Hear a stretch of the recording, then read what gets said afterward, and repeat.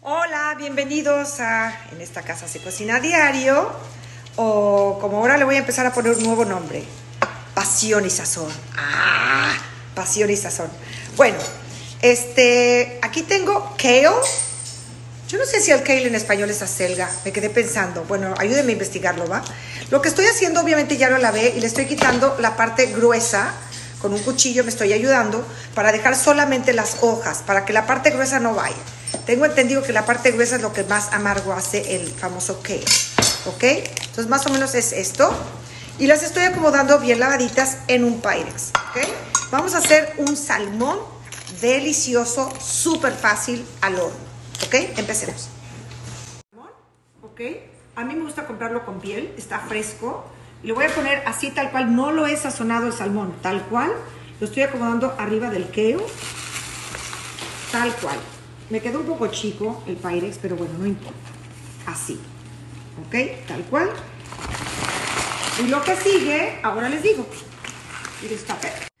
Puedes usar salsa teriyaki, que ya la venden hecha, o si no, como yo, como la salsa teriyaki tiene gluten, yo lo que hice es poner salsa de soya sin gluten con miel de abeja. Puedes hacerlo con una salsa de soya regular si no eres alérgico al gluten, ¿ok? Y esta consistencia más o menos es así y lo vas a poner sobre el salmón, ¿ok? Y después lo vas a meter al horno por 20 minutos y después continuamos con lo que sigue. Qué rico, ¿no? Chili, eh, hot chili en polvito. Se los voy a mostrar qué es lo que le puse. Mira. Bueno, la miel de abeja que tengo el frasco por allá, el chili powder y la salsa de soya.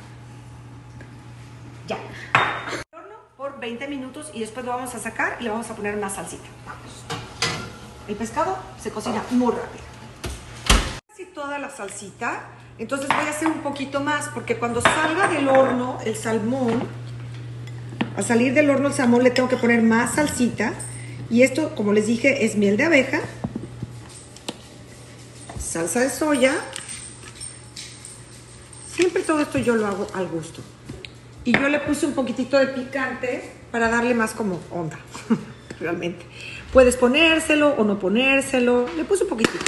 Lo mezclas y esto va a ir al final, una vez que yo saque el salmón del horno. Lo puedes dejar 15... Esto lo tengo 350, entonces por eso lo dejé 20 minutos. Una vez que lo saque, ya no lo voy a volver a meter al horno. Voy a poner esta salsita por encima, lo dejamos reposar unos 5 minutitos y después a la mesa. Todo lo que metas al horno siempre tiene que dejarse reposar unos minutitos antes de servirlo. Regreso. Ya lo saqué del horno y ahora le estoy poniendo más de esta salsita que yo había preparado o la salsa teriyaki, si es que a ustedes les gusta así. Y pueden usar también espinacas debajo de esto. Esto realmente es como una camita para adornar, porque yo estoy poniendo un arroz junto con esto. Entonces realmente el acompañamiento eh, para mí es el arroz, pero también voy a poner este queo en el plato. Pero vean qué rico. Y esto ya lo deja reposar unos 5 minutitos. Y buen provecho. ¡Tarán!